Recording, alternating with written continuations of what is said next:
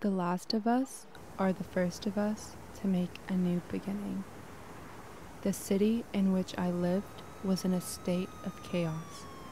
I saw and heard examples of chaos almost every day.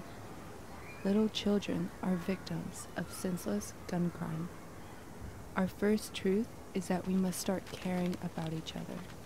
We need to be empathetic and try to walk in others' shoes. We shall overcome when we love ourselves and the people around us. Our second truth is we need to have purpose. We are the future leaders. We will overcome when we use our education to make the world a better place. We must not allow the lies of violence, racism, and prejudice to be our truth. The truth begins with us.